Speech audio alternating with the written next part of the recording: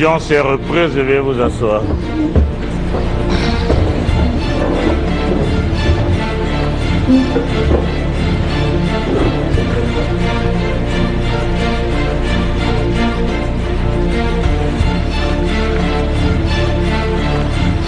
Bien, monsieur l'avocat général, hier nous sommes séparés.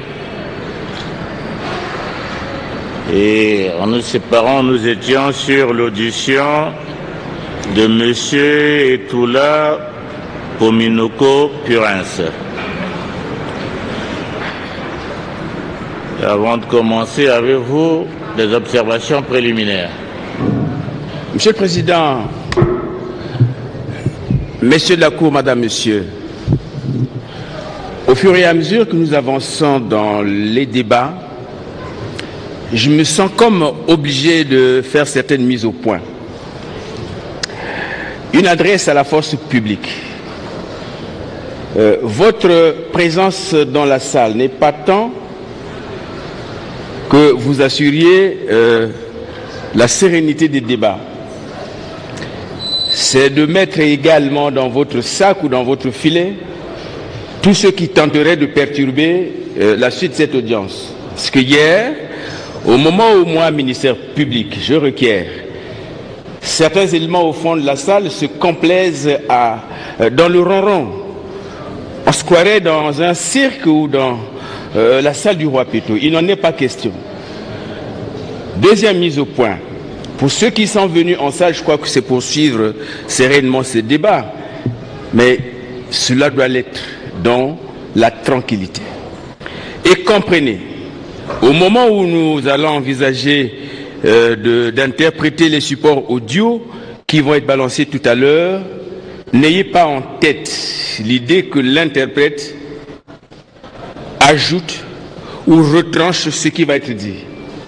Et ne mettez pas sur le dos de l'interprète ce qui va être écouté, ce qui il, n'a que mission de dire telle phrase en telle langue, en tel patois signifie ceci. Ne vous acharnez ni contre l'interprète, ni contre qui que ce soit. Il vient juste vous donner interprétation de ce qui est dit dans un patois que nous ne comprenons pas tous. Pour certains tout au moins. Et donc cette mise au point était euh, euh, tout à fait nécessaire. Parce que euh, j'ai pensé qu'il y en a, je, pressens qu'il y en a qui viennent ici juste pour tenter de troubler, et, ce qui ne sera pas du goût du ministère public, encore moins de la Cour euh, criminelle telle que vous la constituez. Ainsi euh, dit, je requiers qu'il vous plaise continuer avec euh, les débats, toujours dans la sérénité assurée. Merci. Au niveau des partis civils, pas d'observation. La défense a-t-elle des observations Pas d'observation. Bien. Je voulais seulement rappeler à l'auditoire ici présent que nous ne venons pas ici pour conspirer X Y, Z. Nous venons ici, c'est pour suivre dans la sérénité les débats.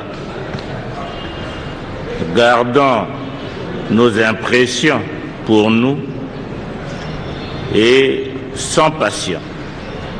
Ce qui revient à dire que le moindre bruit organisé décemment ou délibérément dans la salle m'obligerait à expulser les auteurs du, du trouble d'audience. Et c'est même une infraction. Et je ne voudrais pas arriver à la traduction de certaines personnes devant notre bar pour trouble d'audience. Alors j'invite tout le monde à la sérénité suivant les, débats, gardons nos impressions pour nous, quitte à les débattre hors de cette salle. Mais ici, c'est le débat qui se passe devant la barre entre l'accusation et la défense. Je vous remercie. Sur ce, j'appelle M. Etoula Pominoko Purens à la barre. M. Etoula.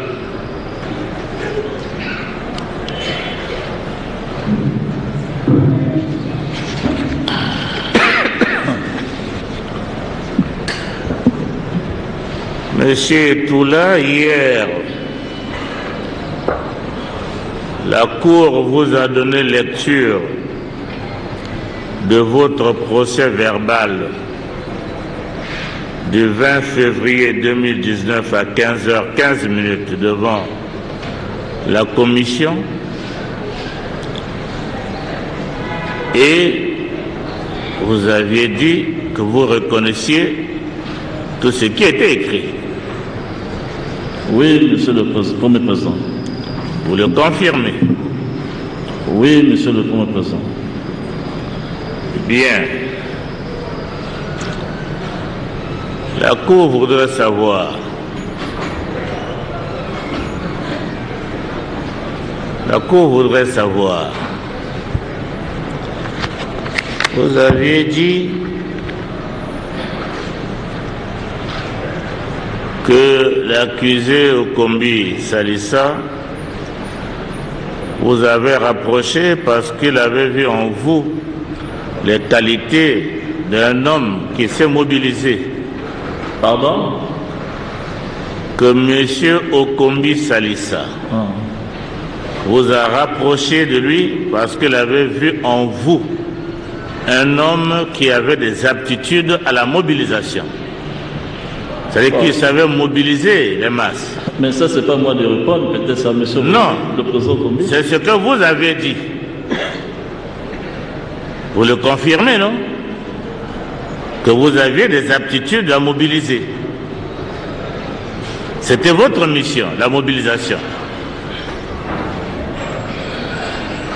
S'il vous plaît, monsieur le président, je peux expliquer Si c'est possible. Allez-y, je vous écoute. Oui. D'ailleurs, quand je suis venu au KDMJ, j'étais d'abord jeune, très jeune. Donc, tout ce que j'ai appris au KDMJ, c'est ça qui a fait de moi un homme politique. Donc, quand vous me parlez que M. Kombi euh, s'est approché de moi parce que je suis un grand mobilisateur, à l'époque, je n'étais pas encore mobilisateur. J'étais encore un simple membre adhéré au KDMJ. Ça veut dire que vous ne comprenez pas l'esprit de la question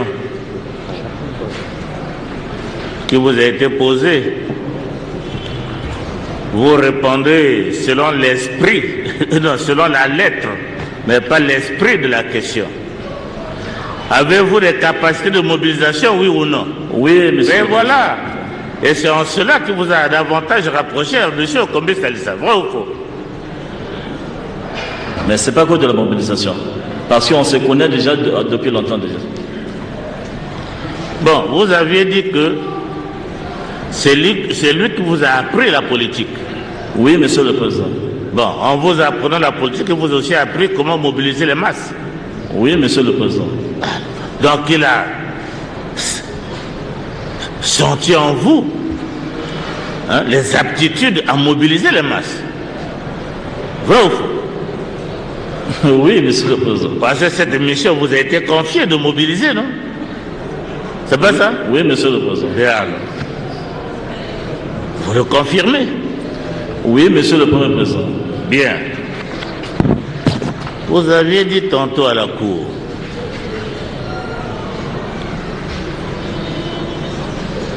que vous étiez chargé de mobiliser les masses, la population dans la zone nord.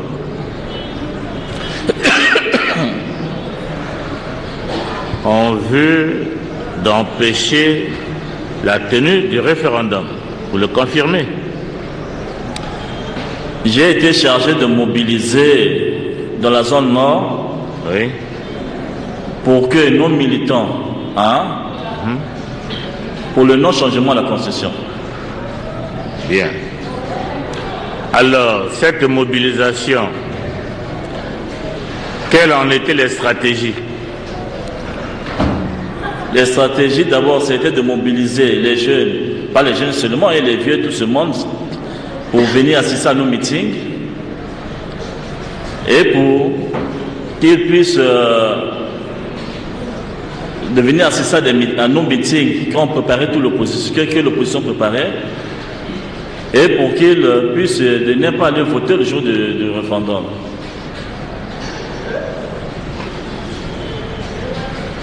C'est tout. Bon, nous avons tenu beaucoup de manifestations, hein, des, marches pacifiques, beaucoup de choses on a fait. Plusieurs meetings aussi. Des carnavals, des campagnes pour le non-changement de la Constitution.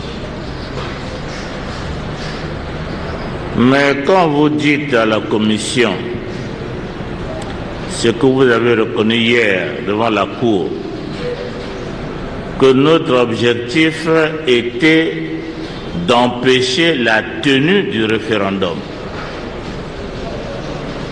Vous le confirmez Oui, de demander à la population de ne pas voter.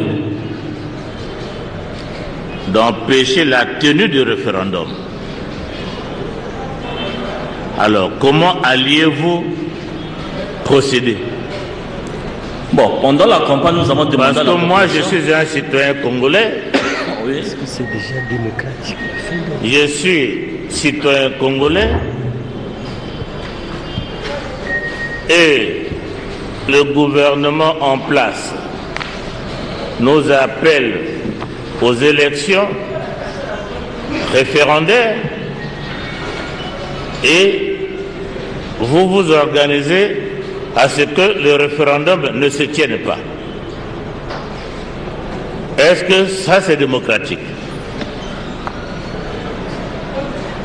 Pourquoi ne pas laisser libre cours à chaque citoyen d'aller ou de ne pas aller, d'exprimer son vote? Oui ou non? Mais vous empêchez la tenue du référendum. Est-ce que cela est démocratique? Nous avons le droit de demander à nos militants d'aller pas aller voter.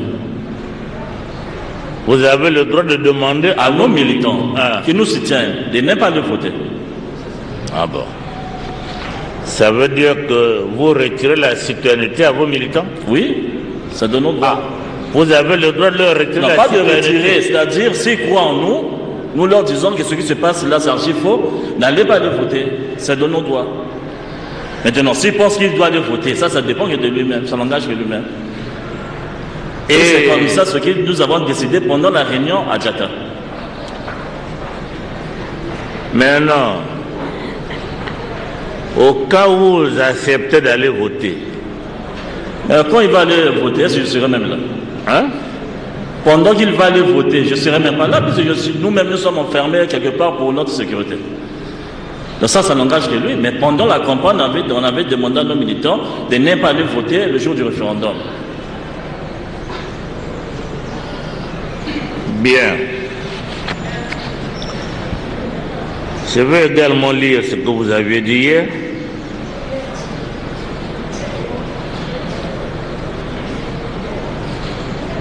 Sur toute l'étendue du territoire, nous avons mobilisé la population pour dire non au changement de la Constitution. L'objectif poursuivi était d'organiser une marche de protestation contre la tenue du référendum. La marche devait avoir lieu le jour même du référendum, mais la marche n'a pu avoir lieu à cause de l'intervention de la police. De la police. Est-ce que ça vous le confirmez? Je peux expliquer, Monsieur le Président Mon Président Est-ce que vous le confirmez, oui ou non? Non. Mais pour que je puisse euh, accepter, d'abord, je dois d'abord expliquer qu'est-ce qui s'est passé. C'est la décision de l'Assemblée des présidents des partis politiques. On avait demandé à tout le monde que le jour du référendum, pour que nos militants n'aillent pas aller voter, pour qu'ils ne puissent pas aller voter. Et on avait demandé à nos militants pour que nous tous, nous puissions se voir au boulevard des armées. Ça, c'est la décision de la de, collectivité des présidents des partis, des partis politiques de l'opposition. Et pour qu'on puisse se- venir se voir à ça, au boulevard, il y a eu la police qui les a dispersés. Donc, ils les attendaient depuis Mungali pour leur dire que non, personne ne puisse aller au niveau du boulevard. C'est ce qui s'est passé. Bon, mais Malgré ça, il y a eu vote. je n'ai pas dit le contraire. Mais cette façon d'agir, est-ce qu'elle est légale?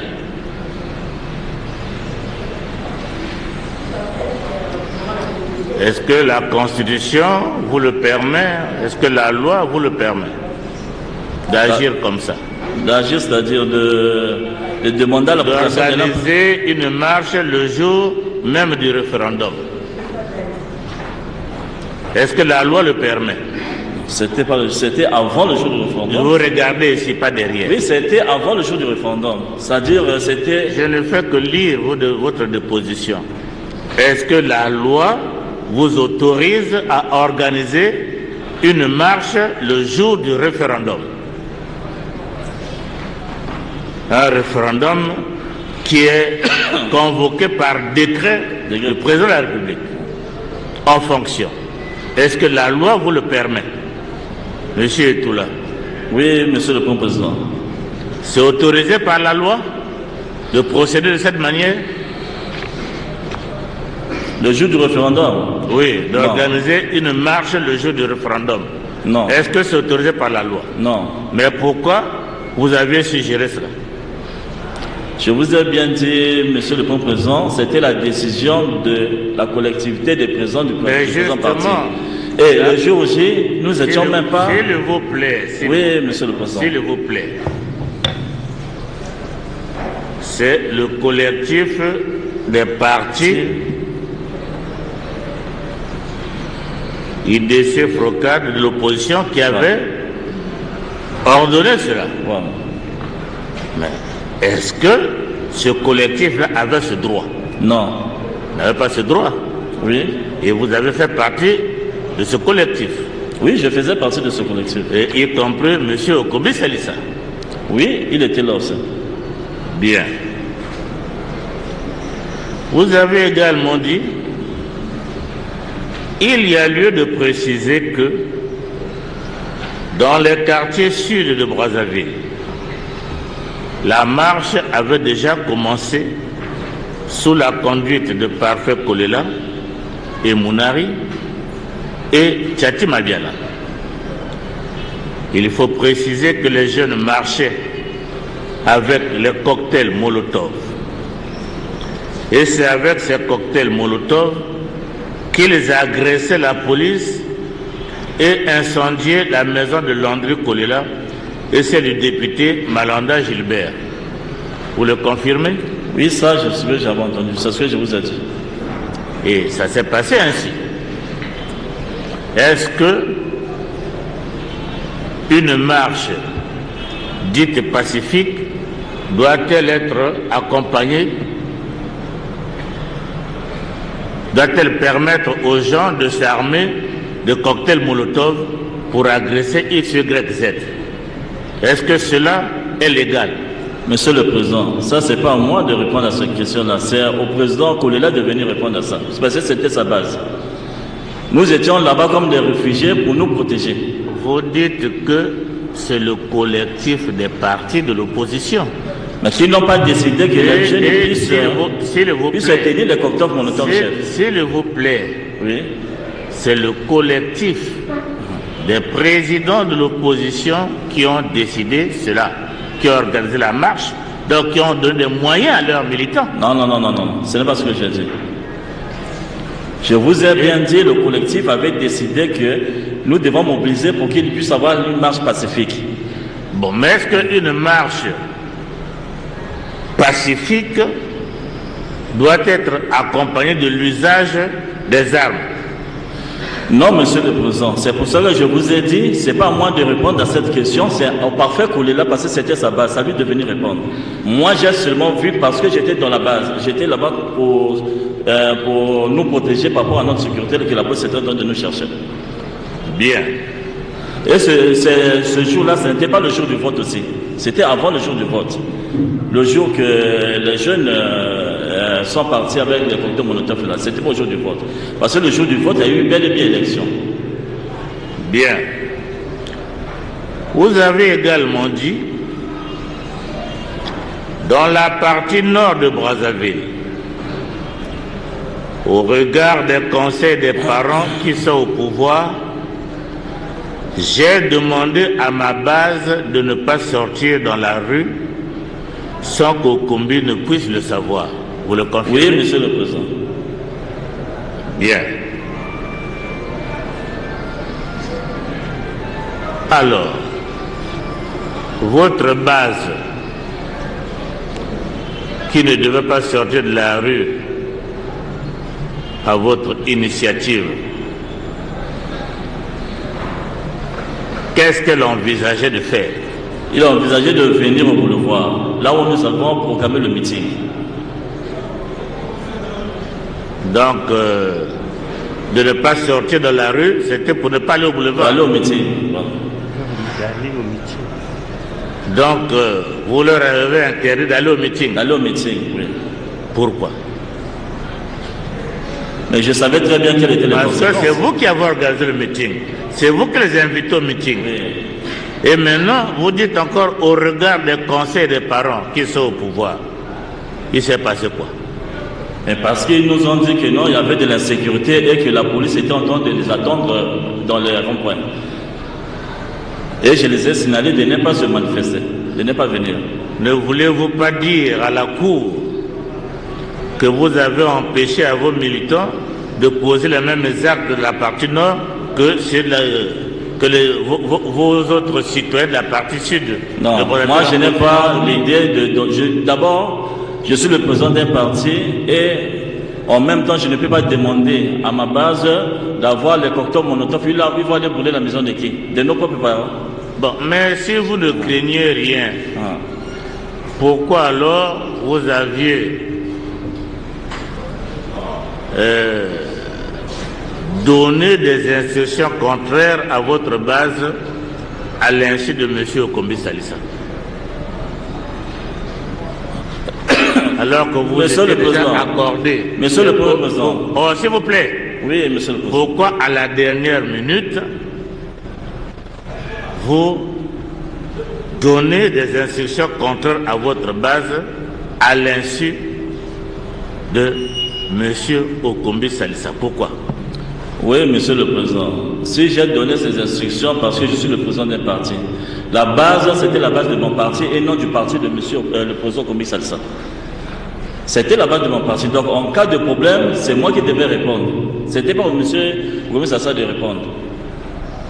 Vous aviez également dit, j'étais avec Okombi dans ce refuge. Par la suite, Kolela et lui ont négocié leur porte de sortie en voulant me laisser seul dans la maison dans laquelle nous étions réfugiés. C'est vrai, monsieur. Alors que vous êtes associés, vous luttez pour la même cause. Bon, ils négocient leur sortie à eux puis on t'abandonne.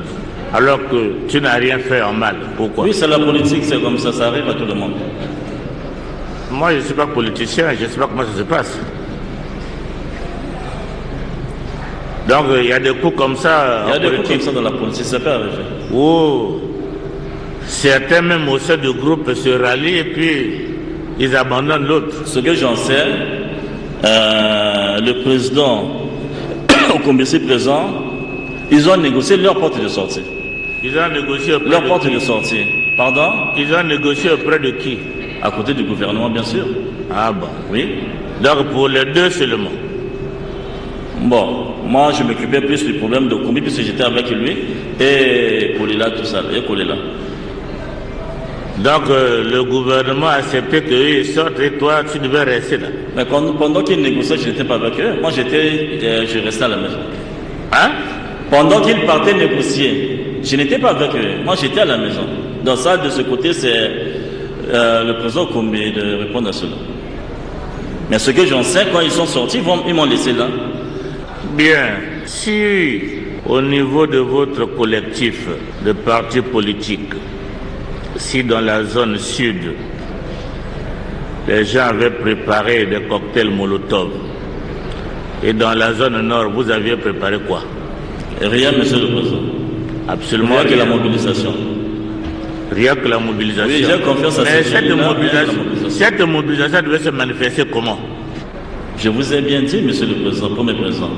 La mobilisation, nous avons demandé, j'avais demandé à mes militants de nous revenir nous joindre au boulevard. Et c'est à la dernière minute qu'on m'a signalé que non, il devait avoir l'insécurité. Je les ai appelés de ne plus sortir. Monsieur Etoula, est-ce que ceux de Bakongo qui ont brûlé les maisons s'étaient rendus au boulevard C'était Ils s'étaient rendus au boulevard Mais il devait, venir- dans la logique des choses, notre idée c'était pour qu'on puisse se voir au boulevard. Donc quoi Ils brûlaient d'abord les maisons avant d'arriver au boulevard Déjà, le CCF était déjà, on a bloqué déjà. Le- à partir du CCF là, ils étaient déjà bloqués. C'était déjà bloqué. Donc personne ne pouvait plus traverser Bakongo pour venir ici au centre-ville. Et c'est ce qui a poussé qu'on brûle les maisons Bon, ça, je ne sais pas, monsieur le président. Ça, c'est à Ou bien c'est quelque chose qui, a fait qui avait déjà été concerté et arrêté que nous devons faire ceci. Non, pendant, pendant notre réunion, il y a des hauts responsables qui sont Parce que les cocktails Molotov, ça se prépare, ça se fabrique pas à l'instant T. Monsieur le premier Vous président, aviez vu ces cocktails Molotov? Je les ai vus, j'étais Bon, devant la À quel moment les avez-vous vus? Mais Quand quand ils se rendaient au boulevard ou bien dans une maison Non. S'il vous plaît, monsieur le président. À quel moment avez-vous vu les cocktails Molotov? Pendant que j'étais devant la portail de monsieur Kolela, Et ces cocktails étaient où? Mais ils, étaient, ils avaient tenu ça dans les mains et ils mettaient dans le sac. Ils avaient ça dans les mains, ils avaient tenu ça. Et il était quelle heure? Pardon? Il était quelle heure? Oh, C'était vers 9h si je ne me trompe pas. Et le meeting était programmé pour quelle heure Pour 10 heures. Mais alors, à 9h, on a déjà des cocktails Molotov en main. Est-ce que pour aller à un meeting, on a besoin de cocktails Molotov Mais, monsieur le président, pour bien vous Répondez comprendre- à la question. Est-ce que pour aller à un meeting, on a besoin de cocktails Molotov Non, monsieur le président. Mais alors, ceux-là avaient des cocktails, des cocktails Molotov, pourquoi Mais c'est pas à moi de répondre, monsieur le président. C'est pas à moi de répondre, c'est pas, c'était pas ma base. Ben, Vous savez au moins que les cocktails Molotov sont des armes. Monsieur le premier président, je vous ai bien dit que Bakongo... Est-ce une arme, oui ou non? Oui, c'est une arme, bien sûr. Bien. Voilà. Mais est-ce que pour aller à un meeting, on a besoin d'une arme? Non, là, on ne se fait pas comprendre, monsieur le président. Parce que moi, je ne suis pas de Bakongo. J'habite à Talangaï. Donc, tout ce qui se passe chez Kolela, ce n'est pas moi de répondre. Kolela, là, à côté, vous pouvez l'appeler pour venir répondre, monsieur le président. Et vous êtes là? Mais je suis là comme observateur, j'assiste ce que je devais prendre comme décision. C'est même pas mon quartier. Vous êtes là C'est même pas ma base. S'il vous plaît. Ça Et il sert- parle- tout le monde parlait là, moi je ne peux pas parler là. monsieur tout là. Ça ne sert pas d'osser votre temps. Excusez-moi, monsieur le Parce que si président. vous osez le vôtre, moi si j'ose le mien, on ne se comprendra plus. Merci, excusez-moi, monsieur le président. Parlez aisément, sans passion, et répondez aux questions. Excusez-moi, monsieur le président. Bien. Alors, est-ce que pour aller à un meeting, on a besoin des armes? Non. Ben alors, ceux-là qui avaient des armes depuis 9 heures, alors que le meeting était programmé pour 14 heures, ça justifiait quoi? Puisque vous, vous ne partagez pas cette opinion, vous avez vu des citoyens armés qui vont à un meeting pacifique. Qu'avez-vous entrepris? Entreprise, ça dit. Qu'est-ce que vous avez fait? Mais moi, je ne parle même pas la rue. Comment qu'est-ce que je vais le dire? Je peux que les observer. Je ne parle pas la rue, eux tous ils parlaient la rue. Vous n'avez rien dit, vous n'avez rien fait. Mais aujourd'hui, quand vous l'évoquez, quel est votre sentiment? Sentiment par rapport à quoi? Par rapport à ça? Oui. Quand vous l'évoquez aujourd'hui, quel est votre sentiment? Mais non, c'est pour vous montrer que non, tout ce que les gens disent, euh, qui ont dit à mon nom, c'était faux. Ah, Hein? Donc vous êtes venu pour vous disculper. C'est ça? Parce que tout cela s'est passé à Bakongo, c'est pas chez moi à Talangaï. Ça s'est passé à Bakongo. Oui. Et vous y étiez. J'ai été là-bas pour me protéger, pour qu'on puisse me garder, monsieur le Pr- Premier Président. La Et ils m'ont demandé seulement de mobiliser. La, cour, la cour appréciera. Merci, monsieur le Président. Le. En continuant avec euh, ma série de questions, il y en a deux simplement. Monsieur Itoula, Oui, monsieur. répondant à une euh, des questions à vous poser par euh, la commission qui euh, continue l'instruction, vous aviez répondu. Nous n'avions pas d'armes. Notre objectif était de parvenir à soulever la population sur toute l'étendue du territoire de la République. Confirmez-vous que c'est dit de vous Nous n'avions pas d'armes. Notre objectif était de parvenir à soulever la population sur toute l'étendue du territoire de la République. L'aviez-vous dit oui ou non? Là, là, là. Oui, je l'ai dit. Ah, Vous l'avez dit. Oui. Merci. Très bien. Quel est le but poursuivi par vous en demandant à votre base de ne pas aller au référendum? Vous poursuivez quel but? S'il vous plaît, monsieur le procureur, au référendum ou bien au meeting? Au référendum, je dis. Mais, euh, Parce que c'est-à-dire- par ailleurs, vous dites que nous avons demandé à la population de ne pas aller voter. Il s'agit d'aller voter le jour du référendum. Oui, Ça tend à quoi? Pourquoi vous vouliez que ce soit fait ainsi si sur ce point-là, nous ne sommes pas d'accord. Une désobéissance civile. Non. Vous appelez à la désobéissance, non, Ça, c'est pas la désobéissance. On appelle la population Pas la population, à la un base, vote. notre base. Non. Nous ne gérons pas la le population. gouvernement, le gouvernement a appelé l'ensemble du peuple à aller à un vote. Oui. Vous, vous organisez dans vos partis à dire non, n'allez pas. N'allez pas. N'allez pas, n'allez pas. Vous vous rébellez contre qui?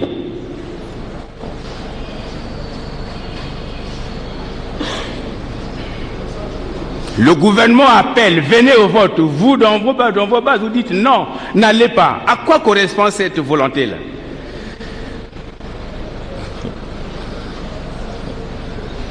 Monsieur le procureur, Général, oui. général, oui, excusez-moi.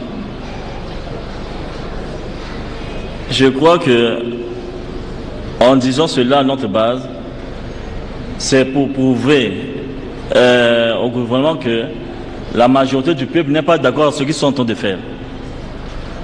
Et par conséquent, Oui il faut mettre la population dans la rue Non, non, comme non, la soulever. Mais jamais- c'est ce que vous dites, monsieur. Non, non, non, je n'ai jamais. Mais il n'y avait pas la population de la rue. Nous n'avions pas d'armes. Il, il faut Notre pas- objectif, non, Oui. je n'ai pas dit que ce jour vous l'aviez fait. Ah. Objectif, ça veut dire quoi? Projet.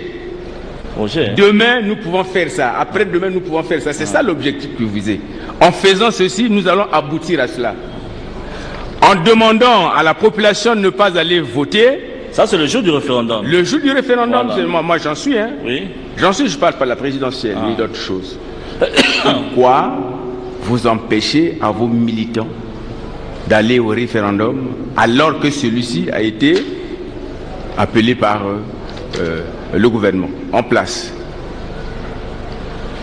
Mais je vous ai bien expliqué, monsieur le procureur général. Vous avez expliqué quoi? Pardon? Est-ce que c'est légal? En avez-vous le droit de défendre un citoyen d'aller exercer son droit de vote? Mais c'est pendant la campagne de non-changement de la Constitution. Nous avons le droit, c'est à lui de décider si oui ou non il va aller voter. Mais il y a eu quand même des militants d'autres partis qui Mais sont Moi, partis j'ai voter. l'impression que Hein? les politiques que vous êtes, vous confondez un peu tout. Comment ça, monsieur le premier? Ben oui. Vous confondez la citoyenneté à l'organisation de ton parti. Le droit au vote, c'est un droit. Hein? Mais est-ce que vous avez le droit d'interdire à un citoyen d'aller voter? Vous avez ce droit. Fut-il votre militant, est-ce que vous avez le droit de lui interdire ou bien de l'interdire d'aller voter? Si toi tu ne veux pas aller voter, ça c'est toi. Mais est-ce que tu as le droit d'obliger à quelqu'un de ne pas aller voter? Pas l'obliger, de le conseiller. pas l'obliger, c'est à lui de décider. C'est un bon conseil alors. C'est à lui d'apprécier. Sous d'autres cieux, Pardon? Sous d'autres cieux, Oui, les citoyens se battent. oui, Ils se sont battus pour obtenir le droit de vote. oui. Mais ici, vous avez ce droit de vote, mais vous empêchez aux citoyens d'aller voter. Est-ce que c'est normal de faire comme ça monsieur le premier, euh, le premier président, vous Est-ce que c'est normal de faire comme comme si nous les avons bloqués pour qu'ils n'aillent pas voter. C'est le pendant le, notre euh, ça, campagne de non-changement de la Constitution. Nous étions obligés de demander à notre base si c'est comme ça pour leur montrer que la population n'est pas d'accord, n'est pas aller voter. C'est ce que nous avons leur, nous avons leur, leur- nous avons leur dit. Et ça y est, de décider s'ils vont aller voter ou bien pas. Mais il y a eu d'autres qui sont partis voter. Monsieur le Président. Allez-y, monsieur l'avocat. Merci. Monsieur le Président. Pourquoi vous précisez Je précise que quand je démobilise mes militants, je n'ai pas donné l'information à Monsieur Okombi. Pourquoi vous le dites? Mais qu'il est responsable d'un parti pour ça, ça dépend que de moi. Je sais pourquoi je les ai fait, c'est pour protéger ma base. Et pour sacrifier sa base à lui. Oh. Mais nous sommes dans les enjeux politiques. Comment je peux vous expliquer? En politique, on sauvegarde sa base et puis on expose celle des Donc je vais demander à mes, mes militants d'aller mourir. C'est ce que vous voulez, le premier secrétaire. le commis pouvait aller mourir. Mais ça, ça dépend de lui. Ça, ça dépend de lui. C'est lui qui prend sa responsabilité. Mais si c'est ça, c'est que vous êtes dangereux. Ah bon? Mais dans la Eh oui. politique, il y a eu, c'était toujours comme ça. C'est comme ça. C'est ce que j'ai appris dans la Mais- politique. Non, là je ne lis que vos propos à vous. Pardon? Je ne lis que dans vos propos. Oui, c'est ce que j'ai appris. Si c'est comme ça que vous comportez, c'est que vous êtes dangereux. Oui, c'est ce que j'ai appris, monsieur le premier président. C'est ce que j'ai appris. Il faut Voilà. d'abord protéger tes intérêts. Euh, il y a encore des questions peut bien dire à, à la Cour, au titre euh, des actions, si je peux m'exprimer ainsi, visant à empêcher le référendum, c'est sa propre expression. Je cite le fait de dire aux populations de rester à la maison. Oui. C'est exact. De ne pas aller voter. Pardon? De ne pas aller voter. À nos compatriotes, pas la population, à nos compatriotes. Mais vos compatriotes, quoi com- compatriotes, c'est qui? Les militants de nos partis. Ah bon Oui. Ok.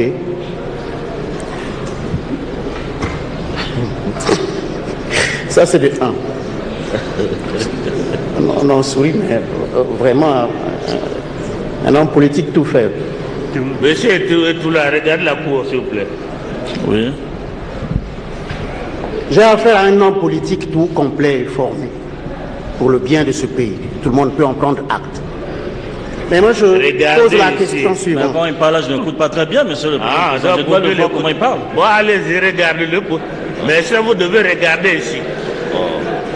Si vous n'entendez pas bien, vous demandez à la cour de vous repréciser la question. Ah, excusez-moi, monsieur. voilà, le président. regardez la cour. C'est en me regardant qu'il suivra mieux. Bon, comprendre. Bien. Au titre des actions visant à empêcher le référendum, c'est l'expression qu'il a utilisée ici devant la Cour. Je cite, un, dire donc à ses concitoyens, c'est encore une expression qu'il a utilisée, de rester à la maison. Est-ce que c'est ça? Vous avez entendu? Oui, monsieur le président. Vous pouvez répondre? Oui, nous Est-ce que vous à avez demandé à vos concitoyens, à vos compatriotes de rester à la maison? De ne pas aller voter. Hein? De ne pas aller voter. De ne pas aller voter, donc rester à la maison, n'allez pas voter. Voter, oui. Mais malgré ça, il y a d'autres qui sont partis voter. Non, non. Enfin, le mot d'ordre, rester à la maison, n'allez pas voter. Voter. Oui. C'est ça, non? Oui. Oui. Deuxième action, c'est vous-même qui le dites à la Cour. Vous avez dit aussi à vos concitoyens, donc, euh, de, pour empêcher donc le référendum, de se soulever. Deuxième action. Non, ça, ce n'est pas ce que j'ai dit. Hein? Je n'ai jamais demandé à nos compatriotes de soulever. Ah, Monsieur le Président, dans ces conditions, il faut qu'on rafraîchisse la mémoire de Monsieur Itoulam. Comment ça? Après la lecture donnée par le, le président de la Cour. Le soulèvement populaire. Mais c'est la mobilisation. Nous demandons à nos compatriotes de ne pas aller voter. C'est la mobilisation. C'est peut-être une question de jeu de mots, de mots, c'est tout. Donc, à votre sens, donc à votre sens, Ah. rester chez soi à la maison, c'est ne- c'est se soulever aussi. Ah oui, pour moi, c'est ça.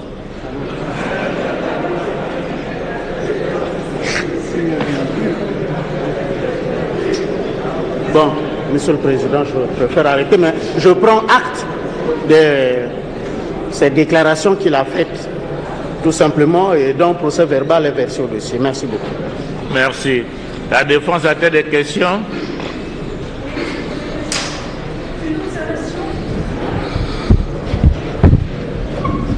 Une observation, Une bien. observation, et je pense que Monsieur euh, Ecola pourra certainement euh, nous éclaircir. J'ai bien entendu les questions, notamment du parquet général. J'ai cru comprendre que le fait de ne pas aller voter était une infraction. Alors, j'ai bien lu vos textes, on a bien le droit de vote qui est protégé. Par contre, moi, je n'ai lu nulle part que le fait pour un citoyen congolais de ne pas se déplacer au lieu de vote et de ne pas voter était interdit ou était une infraction. Est-ce le cas, monsieur Ecola, s'il vous plaît? Monsieur le Président, je ne comprends rien à ce qu'elle dit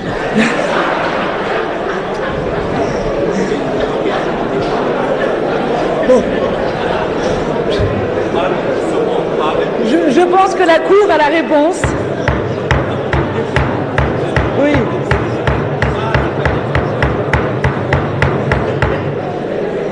Est-ce que le fait d'aller voter, de ne pas aller voter pour un concitoyen est interdit par la loi congolaise Est-ce que c'est une infraction le fait pour un citoyen de ne pas aller voter?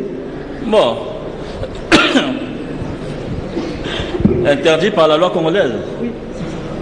Ah, je ne crois pas. Hein. Je ne crois pas. Merci, c'est la réponse que Je ne crois j'attendais. pas. Maître le Meunier a voulu vous dire, Oui. en lisant la loi congolaise, Ah.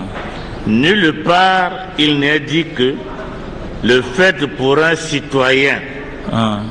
de ne pas aller voter constitue une infraction. Oui. Alors, la question qu'elle vous pose, est-ce que les citoyens qui ne vont pas voter commettent une infraction? Mais puisqu'elle a, elle a bien dit que ça, ça- ça- ça ne constitue pas une infraction, je sais que ce n'est pas une infraction. Ce n'est pas une infraction. Voilà, c'est ça.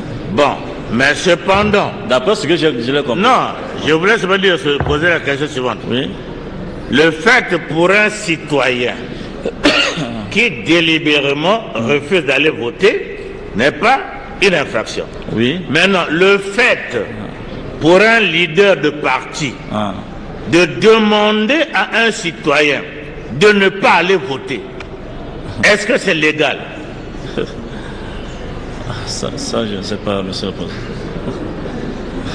Est-ce que le leader du parti que vous êtes avait le droit d'interdire à un citoyen d'aller manifester son droit de vote S'il vous plaît, monsieur le Premier Président. Mais Hein? les- nos compatriotes dépendent des partis politiques. Donc ils suivent la ligne du parti. Donc si Bon, le parti hein. dit que ce qui se passe là, on n'est pas d'accord. vous donne la parole. Vous avez encore la parole Vous avez une question? Monsieur le Premier Président, il ne me semble pas que le fait pour un dirigeant d'un parti politique d'indiquer à ses compatriotes de ne pas aller voter soit une infraction. Ou alors que le parquet général, que votre cour me montre le texte.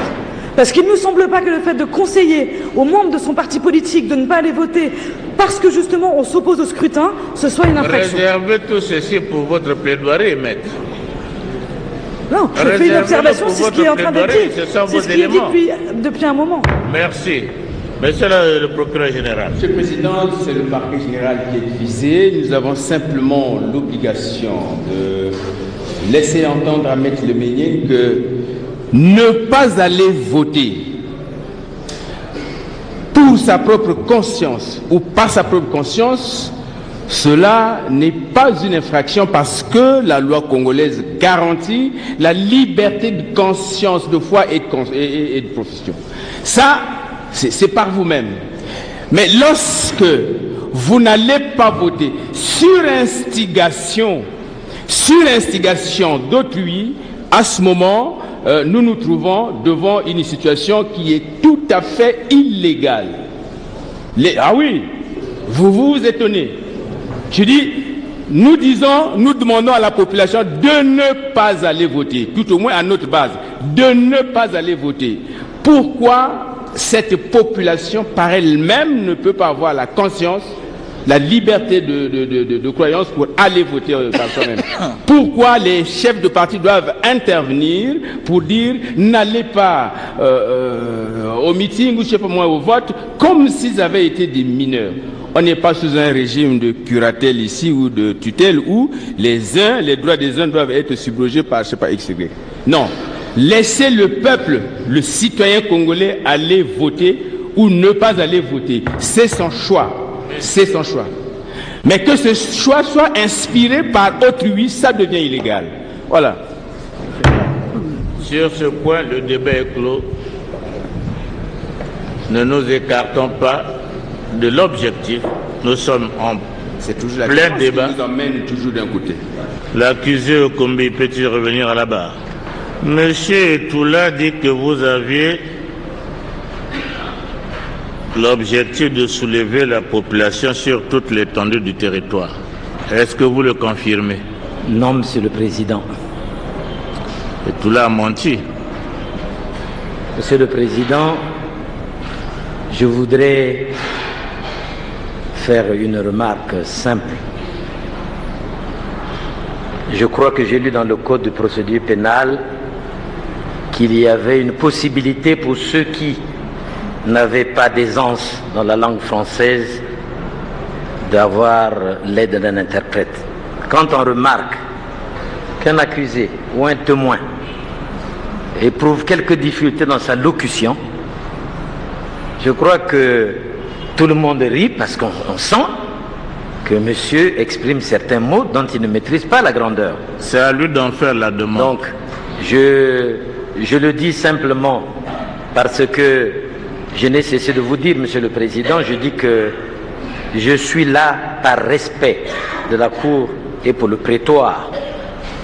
Mais je ne suis pas la personne morale qui représente l'IDC Frocade. Mais comme cela est mis dans le dossier, Allons-y. Je vous ai dit, et je le dis, que j'ai fait partie d'une opposition exemplaire, démocratique, républicaine, qui a fait preuve de responsabilité à différents niveaux. Et je crois que l'autorité judiciaire, qui est le gardien, qui est la gardienne des libertés publiques, devait aussi constater que l'opposition battait campagne régulièrement sur l'ensemble du territoire national. Et que beaucoup de meetings se sont tenus dans les arrondissements, dans les, communes de nos départements, dans tous les départements du pays, dans les arrondissements de Brazzaville, sans incident. Vous m'avez posé une question. Est-ce que ce serait le soulèvement? Je vous argumente pour montrer que ce n'est pas le soulèvement, pour vous parler des procédures administratives légales qui ont été faites à la préfecture, qui peuvent être vérifiées. Je vous ai dit que nous avons battu campagne partout, sans incident.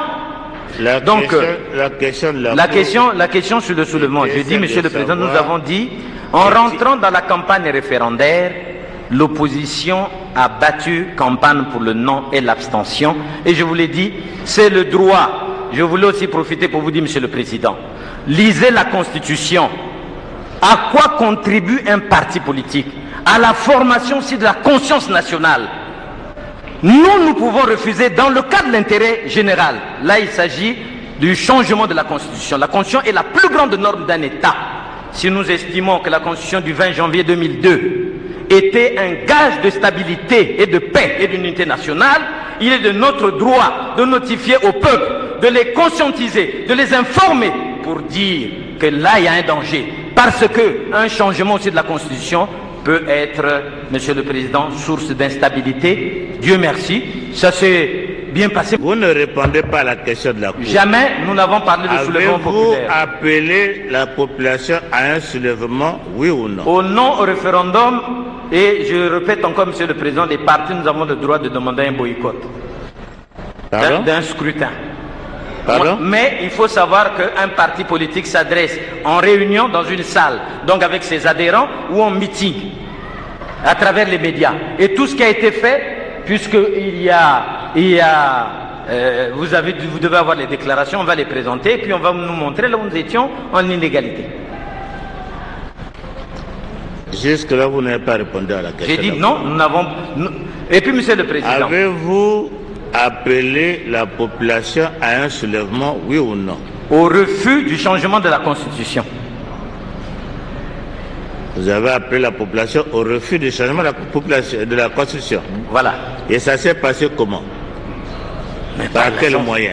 Par là, on a tenu des conférences de presse. Une conférence de presse est censée, après être diffusée dans les médias, dans les réseaux sociaux comme on en a, on a tenu des meetings, on a tenu des réunions de conscientisation. Voilà les méthodes que nous avons utilisées. Nous avons tenu des meetings.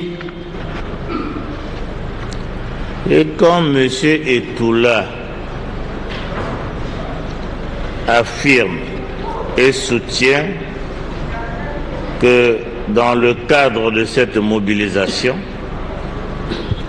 dans la partie sud de Brazzaville, les militants ont fait usage de cocktails Molotov. A-t-il menti? Monsieur le Président, je ne vais pas venir témoigner de ce que je n'ai pas fait, de ce que je n'ai pas vu. Le meeting n'a pas eu lieu. Alors, l'usage de cocktails Molotov, Monsieur le Président, je vous ai dit que nous sommes républicains, nous avons servi ce pays pendant longtemps. La prise du pouvoir par les armes est contre-indiquée dans toutes les constitutions depuis la conférence nationale. Et la conférence nationale souveraine, personne, aucun pouvoir ne viendra se mettre au-dessus de ce que la conférence nationale a décidé. Je n'ai pas ni Y a- souvenir. y a-t-il eu usage de cocktails Molotov à Bakongo, oui ou non? Monsieur le Président, moi je n'étais pas dans la rue pour observer les cocktails Molotov, je n'ai pas vu. Moi je n'ai pas vu. Je ne peux pas confirmer ce que je n'ai pas vu. Mais quand Etoula dit Oui. que vous étiez en concertation avec M. Parfait Kolela, vous-même, M. Pascal Tchati Mabiala et Dame Mounari, que vous vous êtes concerté et vous avez arrêté. Est-ce qu'il ment que le référendum ne se tienne pas?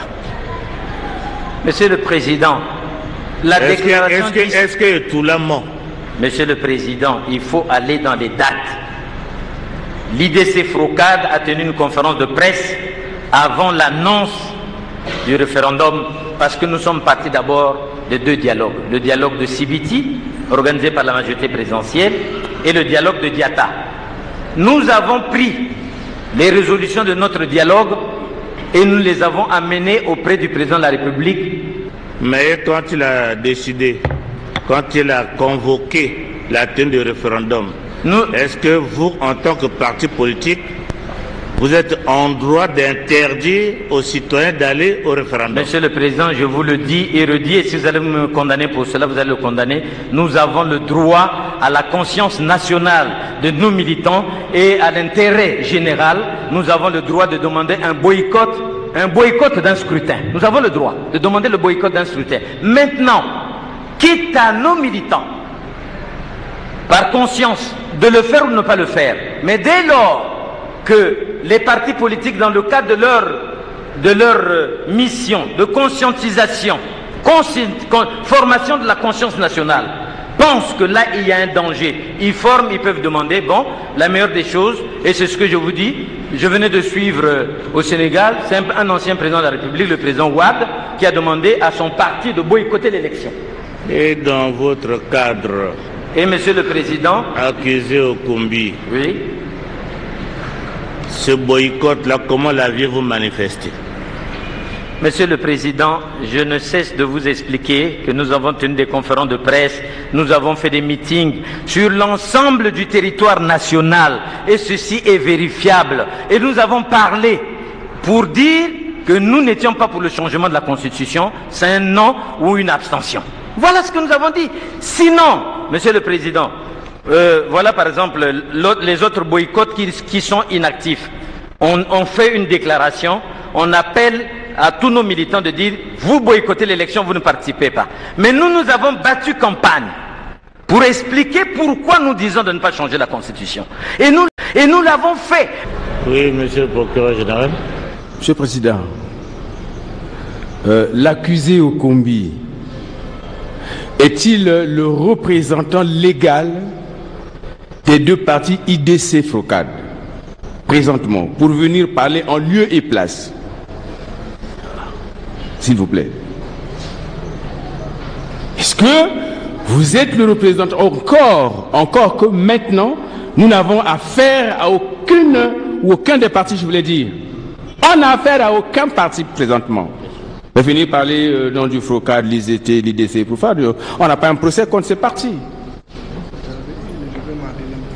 Et si c'est le cas, et si c'est le cas, lui qui pense qu'ils agissent toujours dans la légalité, peut-il nous expliquer actuellement pourquoi la police investit les quartiers, particulièrement les parties sud, alors que leur meeting aurait été légal, puisqu'ils agissent dans la légalité? Pourquoi encore l'intervention de la police dès 4 h 3 h 4 h du matin dans les quartiers?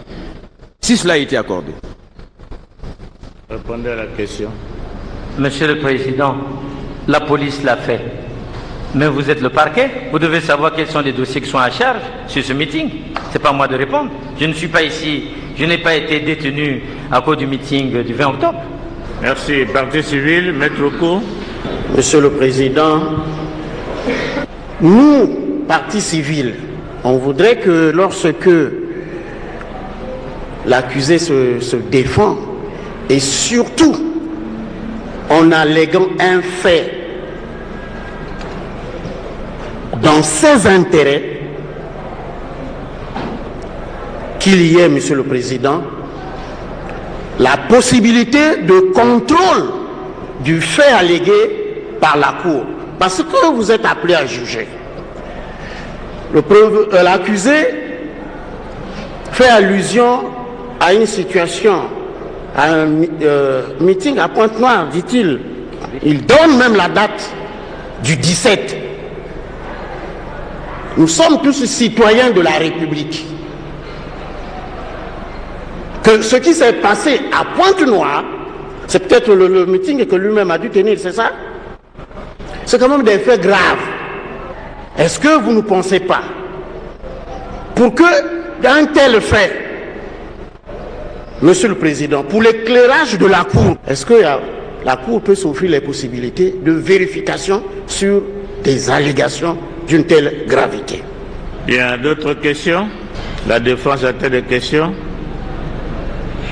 Ministère public? Pas de questions pour l'heure. Bien. Nous avons constaté que depuis le début, il y a un système de... Il faut toujours nous signaler quand vous donnez de l'eau. Il faut toujours nous signaler, Maître Banga. Pendant qu'il est là, bien.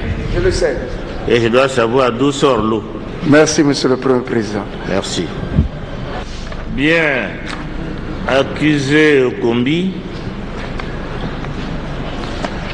lors du supplément d'information, il vous a été donné lecture d'un certain nombre d'intercepts et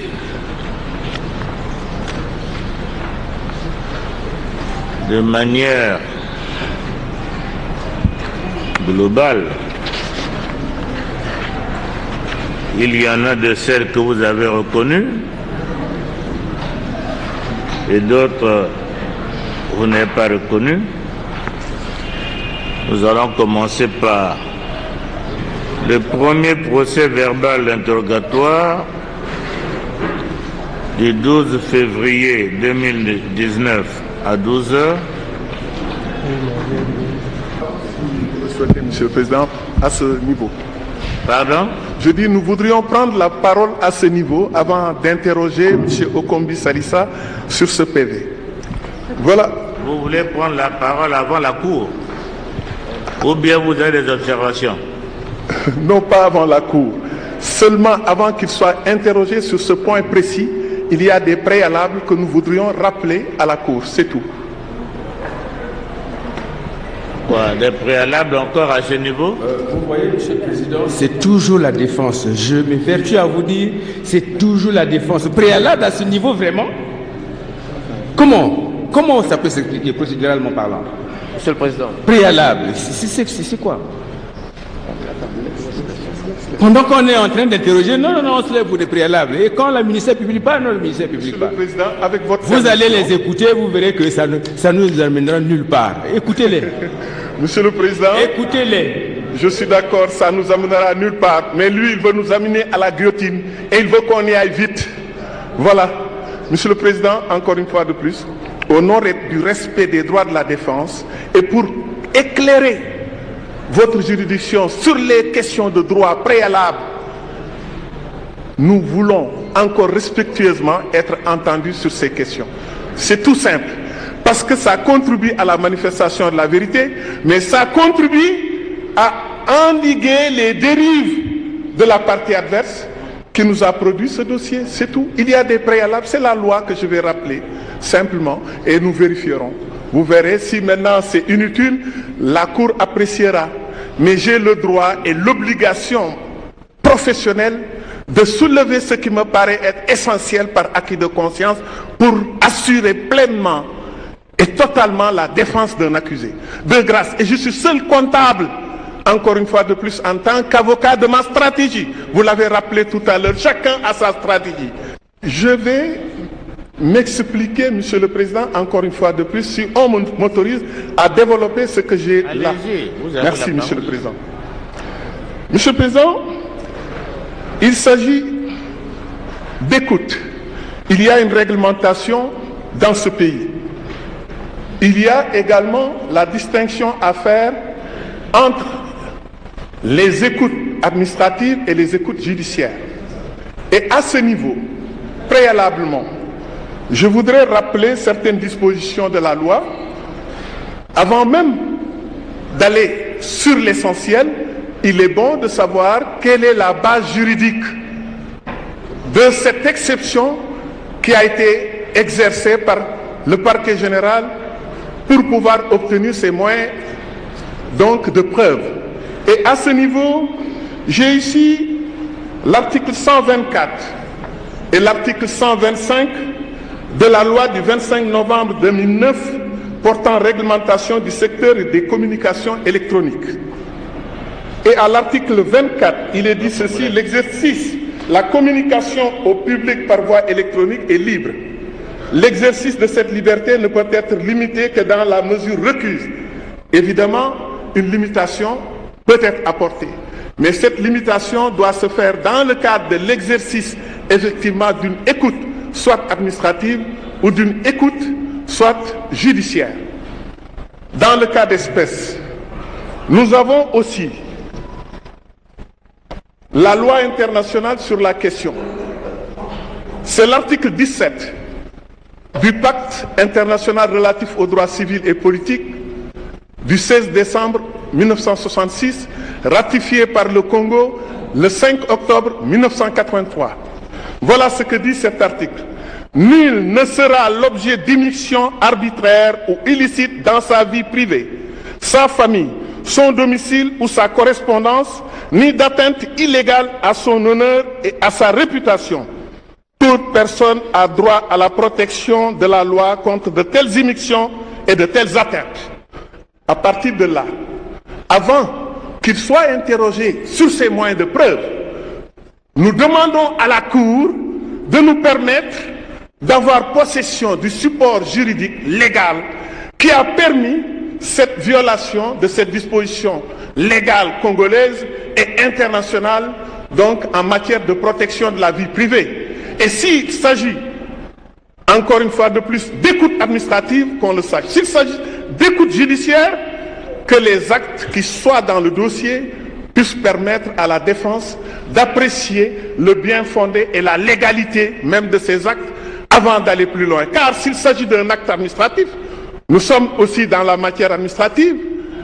La Cour, on ne lui demande pas d'annuler ses actes de l'hérité, mais la Cour peut retirer ses actes. C'est l'exception d'illégalité. Donc, le recours à la légalité d'un acte administratif ne veut pas dire qu'on demande l'annulation de cet acte. Mais la conséquence juridique avec l'arrêt Marais des Chiens, c'est le retrait de l'acte administratif dans le dossier.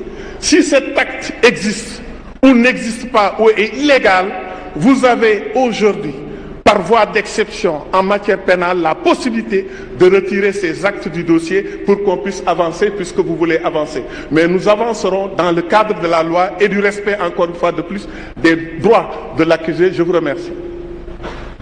La défense, plus personne euh, ne parle. Pour le moment, c'est. Plus personne non, ne on est vers bonne foi pour tout. Plus personne. Pardon? Non, pour le moment, c'est- pour le moment. Oui. Monsieur le Président, Messieurs de la Cour, j'ai fait observer tout à l'heure que l'intervention ou le préalable de la défense ne nous amènera nulle part qu'au divertissement. Nulle part qu'au divertissement. Pourquoi? Parce que dans tous les pays du monde, les pays civilisés, en matière pénale, ils disposent d'un code de procédure. Le code de procédure pénale est une loi spéciale qui a autorité sur les lois de portée générale. Que dit notre code de procédure pénale? Je crois en son article, je n'ai pas toutes les dispositions en tête, mais je crois savoir que c'est la- l'article 14 sur euh, euh, le- les officiers, les attributions des officiers de police judiciaire. Il s'agit là des actes non pas administratifs, mais des procès-verbaux d'enquête préliminaire élaborés par les officiers de police judiciaire qui ont qualité de constater les infractions à la loi pénale, qui ont qualité d'en rechercher les preuves et qui ont qualité de déférer les personnes susceptibles d'avoir causé. Ça relève du code de procédure pénale. Vous n'avez donc pas à relever, à retirer ni un seul papier, ni deux de ce dossier s'il s'agit de l'action menée par la police judiciaire parce que c'est prévu dans notre code. Maître de Villers. Mes souvenirs sont bons. C'est un débat que nous avons déjà eu. On avait déjà contesté la légalité de ces écoutes. Et j'étais intervenu et la défense n'avait pas répliqué.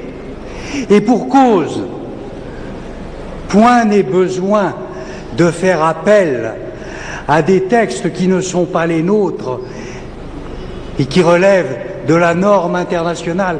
Nous sommes ici pour appliquer les lois du Congo et notamment notre code de procédure pénale ainsi que la loi du 27 janvier 1983 portant modification de certains articles de la loi du 13 janvier 1963 portant code de procédure pénale. Cette loi du 27 janvier 1983 nous indique qui, dans ce pays, a la qualité d'officier de police judiciaire. Et vous avez l'article 16 de la loi de 1983 qui dit précisément ceci.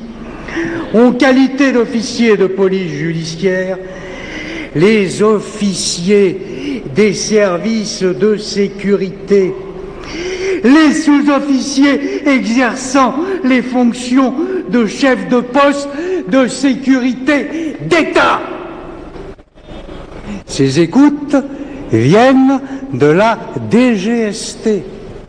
Et si, passant de la loi de 1983, nous revenons à notre code de procédure pénale, nous trouvons l'article 61 de ce code qui nous dit très précisément ceci. Les officiers de police judiciaire procèdent à des enquêtes préliminaires, soit sur instruction du procureur de la République, soit d'office. Si les officiers de police judiciaire, que sont les responsables de la sécurité d'État de notre DGST, ont la possibilité d'office de diligenter des enquêtes préliminaires et qu'à l'occasion de ces enquêtes préliminaires, ils font des interceptions d'écoutes téléphoniques. Et si, par la suite, ces écoutes téléphoniques sont versées au débat lors d'une procédure criminelle, eh bien, je crois qu'il n'y a strictement rien à dire sur la légalité de ces écoutes.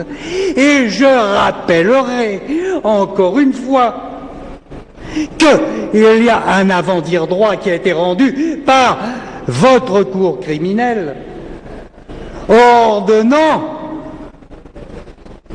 que l'on puisse prendre connaissance des écoutes qui vous ont été communiquées, écoutes de la DGST, qui vous ont été communiquées par monsieur le procureur général, et que je sache, aucun des six avocats de la défense n'a pris l'initiative de relever un pourvoi en cas de régulariser un pourvoi en cassation contre votre arrêt avant dire droit.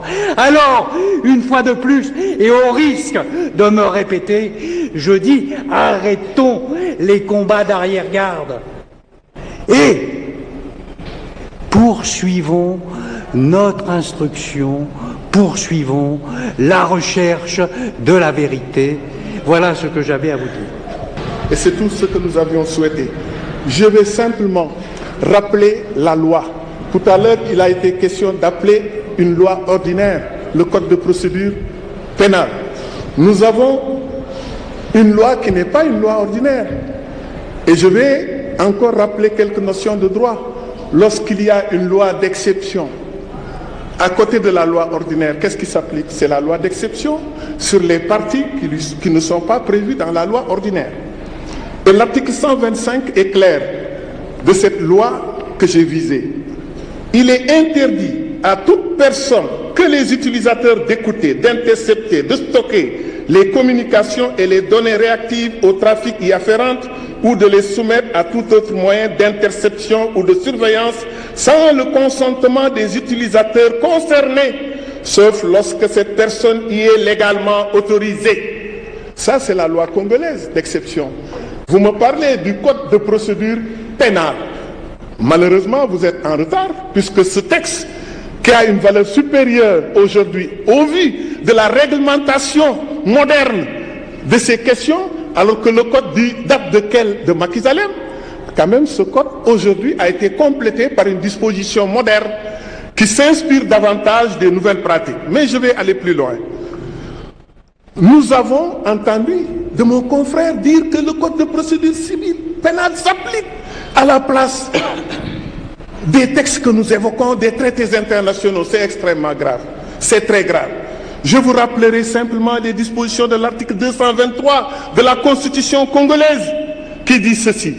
Les traités ou accords régulièrement ratifiés ou approuvés ont dès leur publication une autorité supérieure à celle des lois du pays. Alors, qui dit ça? C'est la Constitution encore qui est supérieure au Code de procédure pénale. La Constitution, c'est la loi fondamentale. Et cette loi fondamentale, dans son préambule, dit mieux. Dit ceci, déclare partie intégrante de la présente Constitution les principes fondamentaux proclamés et garantis par la Charte des Nations Unies, la Déclaration universelle des droits de l'homme, la Charte africaine des droits de l'homme, la Charte de l'unité nationale, sous et tous les autres textes nationaux et internationaux pertinents dûment ratifiés relatifs aux droits humains. Monsieur le Président, encore une fois de plus, pour ceux qui sont au diapason du droit moderne, nous savons aujourd'hui que ce droit international intègre le droit interne et les juridictions saisies ont l'obligation, lorsque les arguments sont pertinents en l'espèce, effectivement, de faire application de ces dispositions directement. Parce qu'ils intègrent ce qu'on appelle le jusqu'ogène, qui devient effectivement aujourd'hui la matière juridique réelle applicable dans le cas d'espèce. Alors, si la Constitution le dit, les traités régulièrement ratifiés ont une valeur supérieure aux lois nationales du pays. Peut-on aujourd'hui, au nom d'une loi nationale, écarter ce que je soulève Je dis non. Alors, de grâce, allons vite à l'essentiel, mais évitons de créer des monstres juridiques qui pourront se retourner contre nous. Je vous remercie. Oui, mais de Villers. Dont nous sommes menacés, ce serait le monstre juridique qui viendrait à interdire à un officier de police judiciaire d'enquêter d'office sur des faits délictueux. Côté de la défense, pour les besoins et l'intérêt de l'accusé au combissalissa, on veut faire sortir de ce dossier un certain nombre d'écoutes qui ont été pratiquées par des officiers de police judiciaire. Mais j'ai entendu la lecture de l'article 125 de la loi sur les communications, tel que cet article 125 qui nous a été lu par mon confrère. Et in fine, il est passé très rapidement. Mais il disait qu'il fallait avoir des autorisations, sauf pour les personnes qui étaient naturellement autorisées à pratiquer ces écoutes. Et que je sache quelle est la police judiciaire dans ce monde, quel que soit le continent, qui se verrait obligé de demander à un délinquant, s'il vous plaît, monsieur, permettez-moi de vous mettre sur écoute pour que je puisse intercepter les propos ou les conversations qui pourraient avoir une des conséquences délictueuses. Ne nous moquons pas du monde. Dans tous les pays du monde, la police judiciaire, en cas d'enquête préliminaire, procède à des écoutes. Ces écoutes, elles sont dans votre dossier. Vous avez déjà ordonné leur audition. La défense ne s'y est pas opposée, il n'y a pas de pourvoi en cassation. Kindimo consent. Alors aujourd'hui, on joue les personnes, j'allais dire les vierges outragées, pardonnez-moi l'expression, mais enfin je crois qu'encore une fois, c'est un combat d'arrière-garde. Passons outre. Monsieur le procureur général. Monsieur le Président, vous constatez que tout au long des interventions, euh, aussi bien la défense que la partie civile, le ministère public est resté comme évasif, euh, en train d'interroger le, très haut, euh, non pas parce qu'il a besoin d'être évasif, simplement parce que il, est en train de chercher quelle est la difficulté à laquelle vous allez être confronté quand à balayer. En une fraction de seconde, en une fraction de seconde, euh, ce qui vient d'être euh, fait observer par la défense. La police judiciaire, en vertu des dispositions de l'article 14, 61 du Code de procédure pénale, est autorisée, c'est une autorisation légale, à vous produire ce que vous avez comme procès-verbaux d'enquête préliminaire. Allons-y. Euh, on continue à nous divertir, Monsieur le Président. Oui, Maître Meunier. Merci, Monsieur le Premier Président. Alors, Monsieur le Procureur général, je suis tout à fait d'accord avec vous. Le Code de procédure pénale, ainsi que les traités, comme l'a expliqué mon confrère, sont les lois en vigueur ici. Et contrairement à ce que nous indique euh, mon confrère de Villers, loin de nous l'idée de refuser les écoutes téléphoniques. Simplement, depuis le premier jour dans ce dossier, et je parle du premier jour de l'instruction, nous nous battons pour que les droits de la défense, tels que décrits dans votre code de procédure pénale, dans votre constitution et dans les traités ratifiés, soient simplement respectés. Que disons-nous aujourd'hui? Oui, il est possible de faire des écoutes téléphoniques. Oui, il est possible, dans le cadre d'une enquête préliminaire, de procéder à des écoutes téléphoniques. Oui, les officiers de police judiciaire peuvent réaliser ces écoutes, mais dans un cadre légal. Tout d'abord, dans le cadre d'une enquête préliminaire. Je me permets de vous apporter une observation. Les écoutes, quand est-ce qu'elles interviennent? Préalablement à l'ouverture de l'enquête préliminaire qui concerne M. Ocombi. L'enquête préliminaire a été ouverte le 21 novembre 2016. Les écoutes datent de 2015 et début 2016. Première observation. Par ailleurs, pour réaliser des écoutes, article 133 de la loi mentionnée par mon confrère, il faut être dûment habilité, les officiers de police judiciaire sont dûment habilités, et il faut être spécialement chargé de cette mission. Il faut une autorisation, il faut un cadre légal, pourquoi faut-il un tel cadre Pour pouvoir vérifier l'authenticité des écoutes téléphoniques?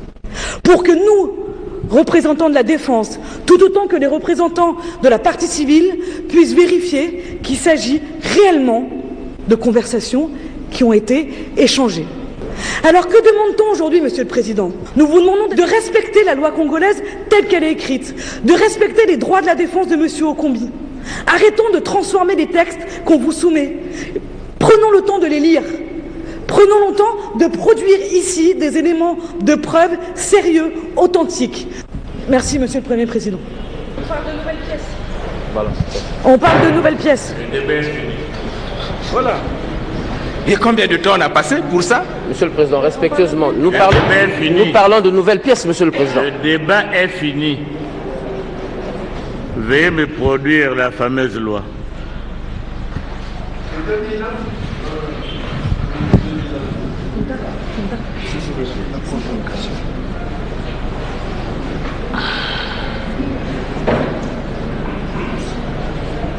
C'est tout ça, non?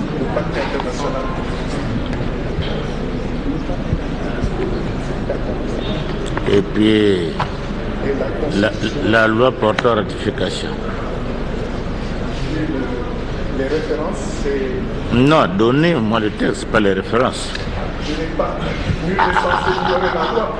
Je me demande la loi portant ratification du pacte. C'est vous qui il faut, faut nous la produire. 5 octobre, c'est Faut publié nous- dans le journal officiel. Il faut nous la produire. Monsieur le Président, C'est une, la loi. c'est une demande formulée par la défense. Mettez à notre disposition tous les éléments d'appréciation. Oui, je disais encore. Même si je suis censé la connaître, mais j'exige que vous nous produisez ces pièces. Oui, je voulais simplement dire qu'en ce qui me concerne, je n'ai en possession que ces références de la ratification en date du 5 octobre 1983 du pacte international. Mais il ne faudrait pas que. Pardon? je- il ne faudrait pas que je vous oppose une loi que vous ne m'avez pas produite. Je peux aller lire un autre texte et vous dire que c'est ce texte-là. Je préfère me référer à votre texte, à vous, vous me le produisez. Si vous nous accordez le temps, à ce moment-là, nous allons voir si cette Mais puisque la, la- la- la Cour doit se retirer pour délibérer, pour délibérer, Maître Bonkouta, Oui. je ne vous ferai pas l'injure de vous rappeler ce principe. C'est quand même une défense que vous avez préparée. Et vous saviez qu'en abordant tel sujet, nous allons évoquer tel problème. Et par voie de conséquence, vous vous préparez également à alimenter la Cour. Oui. Mais vous arrivez, vous invoquez un texte, mais vous n'arrivez pas à nous le produire. Et vous demandez que la Cour aille s'informer, ça c'est normal. J'ai produit le texte. Ce que je n'ai pas produit, c'est la loi de Ça veut dire que quand je serai dans le secret de la délibération, je dois sortir, aller soit euh, chez moi ou bien dans un organisme quelconque pour retrouver ce texte. Non, parce que ce qui Mais s'impose... voilà, produisez-le nous. Maître Oko, à entendre la discussion et toute l'écoute nécessaire que vous donnez justement au développement des uns et des autres, on a l'impression que la Cour se trouverait devant euh, une impasse. Non. La Cour n'est nulle Voilà. une impasse. Voilà, Monsieur le Président. Il faut que vous... Et d'autant plus que ce n'est pas une impasse. D'autant plus que je ne comprends pas la nature juridique du moyen qui est soulevé du côté de la défense au stade actuel. Je ne voudrais pas me répéter sur ce qui a déjà été dit, mais il faut maintenant trancher. Merci beaucoup. Merci, Monsieur le procureur. Monsieur le Président, pour vous permettre de gagner du temps, si vous entendez vous retirer dans le secret de votre délibération, posez-vous une question. Quel est l'acte de saisine qui fonde l'action de la Cour criminelle présentement? Vous répondrez, c'est l'arrêt de renvoi à la chambre d'accusation. Deuxième question, l'arrêt de la chambre d'accusation ne purge-t-elle pas les irrégularités de la procédure antérieure? Oui, l'arrêt purge, par conséquent, rejette le moyen. Vous êtes revenu en cinq minutes, vous avez pris votre décision. S'il faut partir d'ici à minuit, nous partirons d'ici à minuit. C'est l'audience criminelle, non? Ben voilà. Il faut assumer. La Cour se retire pour délibérer.